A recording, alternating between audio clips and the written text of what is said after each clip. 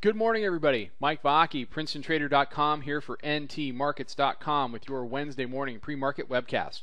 What a day yesterday. Um, you know, I was saying in my chat room, if if there was going to be a day that has the potential to mark the reversal of this market, we will look back at yesterday for a couple of reasons.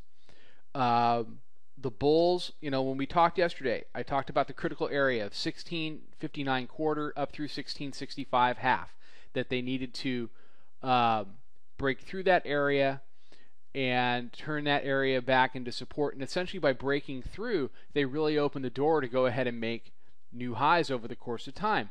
That the 33 had been established as support, then the 44s, and that the Bulls had left themselves, the Bears rather, had left themselves open uh, to to to another run at highs. What we saw yesterday for the first time in 2013, I would argue, was the Bears defend an area, take that area back, and follow through, and close not on the lows, but near the lows. Um, so where where do we go from here? Well, the Bears are not out of the woods. Uh, that 33 area, this purple line, the top of this congestion area, this 33 area, has to be taken out, converted, and turned into support.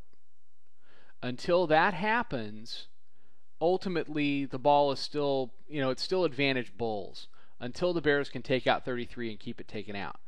What we've done in the overnight is essentially come down here and test the middle Bollinger Band. And right now you are seeing a move higher. We're trading as high as 49. Uh, you know, up, up. Uh, we were over 50 there for a little bit. So the Bears, you know, I've said this before and I'll say it again. The Bears cannot take any days off. The Bears cannot take today off. They need to push. I'm not saying they need to break 33 today.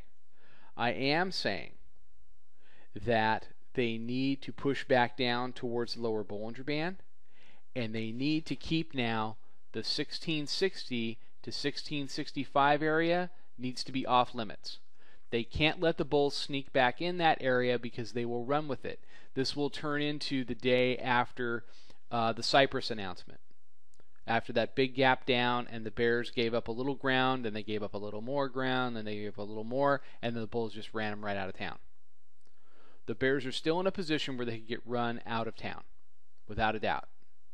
And the only thing that's going to keep that from happening is having 1660 as solid, reliable support, getting through the middle band at 40, and going to work on 33. Um, a lot of dip buyers yesterday got caught in the middle of the fray. We got caught in the middle of it um, and and tried to try to grab the the same dip that you know that we've been trying to grab for you know just about every every trading day. And for the first time in a long time it did not work out. And there are a lot of people in that boat. So the dynamic you will have today rather than um, frightened's probably not the word um, skittish or or you know concerned uh, rather than you know jittery or, or skittish uh, top callers, you're going to have skittish or concerned dip buyers. And when things start to move against the skittish or concerned or weak money dip buyer, they're going to get out because they are not going to want to do a repeat of yesterday.